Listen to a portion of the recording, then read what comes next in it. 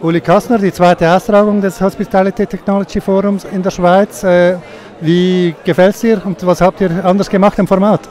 Also erste Resonanz ist schon mal gut. Also ich kriege äh, relativ gutes Feedback. Die Leute sind dabei, obwohl es äh, über 30 Grad heiß ist. Aber die Leute sind noch konzentriert dabei. Ich hoffe, sie halten den restlichen Tag durch ein bisschen anders gemacht. Äh, wir sind nicht mehr ganz so Startup fokussiert, weil Hoteltech ist natürlich auch, sage ich mal, natürlich auch die großen Firmen. Das heißt, wir haben dieses Jahr auch mal ein paar größere Firmen eingeladen, um da ein bisschen mehr eine Mischung hinzubekommen. Und äh, wir mal, das Bühnenprogramm haben wir, sage ich mal, dadurch auch noch mal ein bisschen noch mal dynamischer gestaltet. Weniger Keynotes, noch mehr Interviews und ich hoffe, dass es dadurch auch noch mal ein bisschen unterhaltsamer ist und ein bisschen pragmatischer auch ist.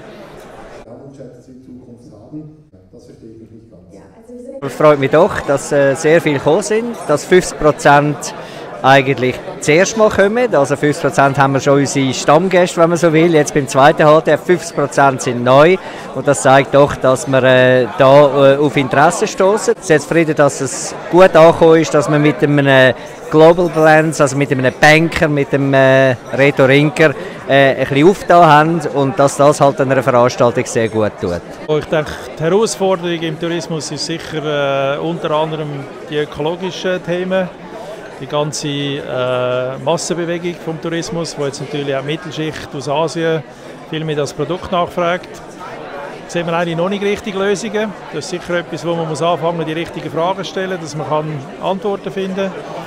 Und das andere ist spannend, eigentlich die Innovation, die in den letzten zehn Jahren im Tourismus stattgefunden hat. Wenn Sie denken, äh, die ganzen Sharing-Plattformen, Airbnb, die ganzen Online-Guides, äh, Get Your Guide zum Beispiel, die ganzen dynamischen Preismodelle in der Airline-Industrie oder in der Hotellerie. Wenn ich jetzt unsere Industrie anschaue, im Banking, dann sind wir noch weiter weg. Also es gibt sehr viel Innovation auf einem, auf einem äh, höheren Level. Auf der anderen Seite, dann, wenn wir einzelne Anbieter anschauen, Hotel, dort ist die Innovation dann noch sehr klein. Stefan Neukomm, wie ist das für Sie als Startup, an dem alles teilzunehmen? Also ist für uns äh, natürlich auch das Zürcher Startup lässig, dass wir da in äh, Zürich so ein äh, Forum organisiert und ähm, ja, eine super Gelegenheit für uns auch, Leute kennenzulernen, Leute, mit Leuten zu reden, die wir, die wir schon kennen, also Kontakt pflegen. Und es ist lässig, dass das für äh, Branchen so einen Anlass gibt. Ja. Ich finde es ein ganz spannendes Forum. Man lernt äh, junge, neue Firmen kennen, die im, in der Hotellerie Lösungen entwickeln. Das gibt einem Input was sind Technologien von der Zukunft oder eigentlich ja von der Gegenwart, wo gehen Trends an.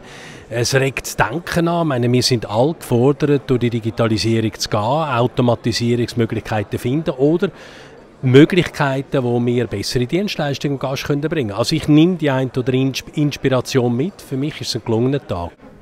Dialogshift. Jawohl! gewonnen. In Berlin ist er noch Zweite geworden und heute hat sie gewonnen. Ja, das freut mich besonders. Langen Weg aus Berlin runter gemacht, Und äh, so, jetzt wollen wir noch ein Fotos machen. Ja? Komm, hier.